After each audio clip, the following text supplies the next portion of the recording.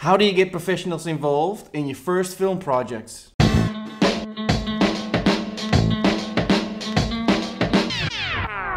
What up, everybody? Welcome to the vlog number two. My name is Philip Rashid, and I thank you for the overwhelming positive reactions on the first vlog.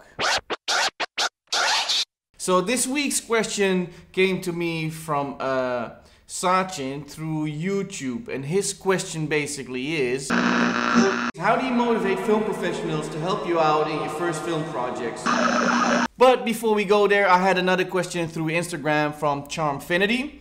And Charmfinity asked me, Phil, before you start giving tips and tricks to everybody, I would like to know what your background is and how did you get where you are right now? Good point. So in short, 20 years ago I started out as an actor. The? والاسم العائلي Karin J. Azalea. You want me to betray my friends? Adriaan. I know you're not gonna let me see her. I know that. You're gonna send me back. I say okay. Worked on soap series, drama series, comedy series, been a host on TV. FIFA iPhone, hier is die fly flippo. Zit op die high tips met flow, zwaar als een hippo. Your coke is pure. pure shit. we don't pay for shit. I grew up with hip hop culture, so in the meanwhile, I was always active as a b boy, traveled the world.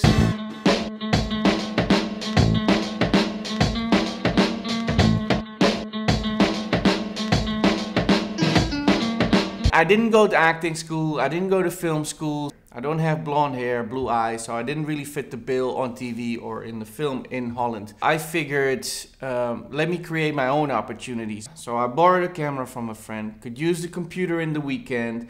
I made a little short showcasing my talent as a filmmaker. Internet platforms like YouTube, Facebook, Instagram, Snapchat, etc., etc., didn't exist back then, so my content was mostly screened on TV.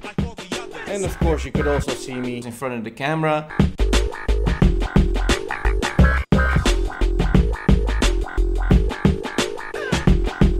Nowadays, I'm blessed to make short films, help others with their short films, direct a lot of commercials, and working on my new projects. Back to your question, Sachin. How do you get professionals motivated to work on your films, especially as a beginning filmmaker? First, you have to understand that being a professional means you own your craft and are being paid for it, and this is your livelihood. With that being said, I have three tips for you. Of course, these tips are from my experience, from my vision, and from my perspective.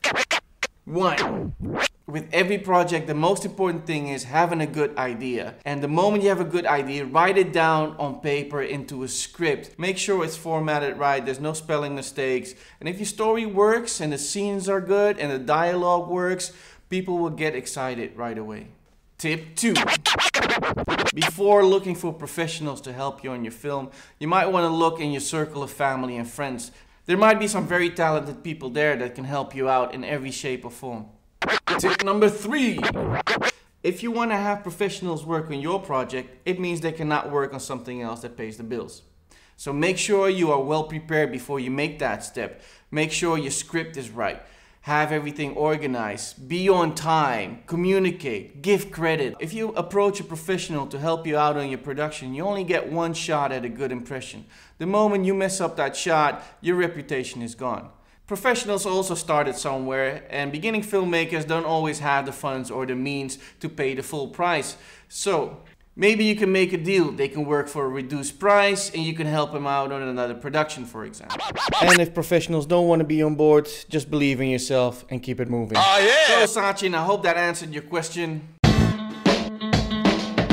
For everybody else out there, it's a film community. The film community is small. If you ask people to help you out on your production, you might want to return the favor. Drop the beat, not not like all the others. In the region, the film industry is still pretty young, but luckily we got organizations like Arab Film Studio in Abu Dhabi that scouts, nurtures new film talent, guides them through the whole process, and connects them with professionals in the industry. In 2014, I was part of the Narrative AFS program. It surely helped me to become a professional filmmaker. Check out the link below in the description and make sure to apply. That was it for episode number two. Make sure you tune in next week. If you have questions, remarks, make sure to comment right below. Subscribe here, there, everywhere Instagram, Facebook, YouTube, or check my webmail out. Peace!